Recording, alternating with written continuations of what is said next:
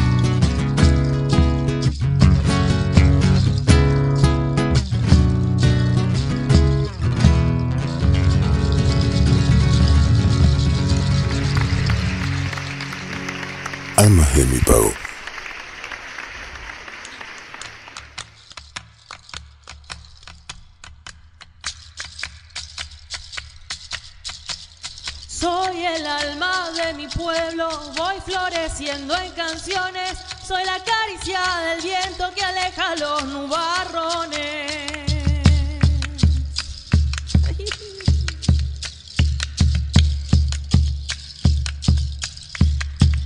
Soy aroma de tus sales